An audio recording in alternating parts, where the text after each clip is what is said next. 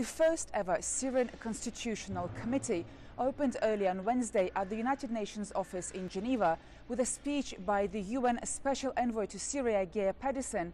In his speech, he urged the members of the committee to seize this opportunity and to work towards uh, a constitutional reform in Syria.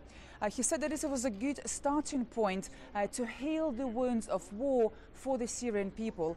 And uh, his speech was also followed by more emotional speeches by the heads of the delegations from the Syrian government and from the Syrian opposition.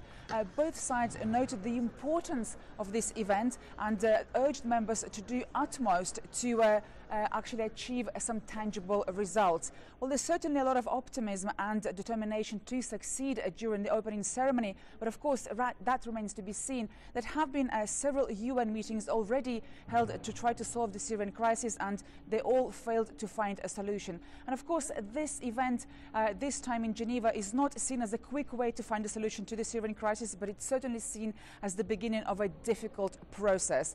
Well, uh, Geir Pedersen, he called this event uh, a new chapter for Syria, and he hoped that it would, uh, would be a beginning of something meaningful for the country. Well, this uh, constitutional committee is made up of 150 people, 50 from the Syrian government, 50 from the Syrian opposition, and 50 from civil societies. And they will stay and work together in Geneva for several days. There is no uh, clear timetable or a known plan for how long this will take, but after a few days, this 150 will then be reduced to 45, and those 45 people will stay in Geneva for what could be several weeks.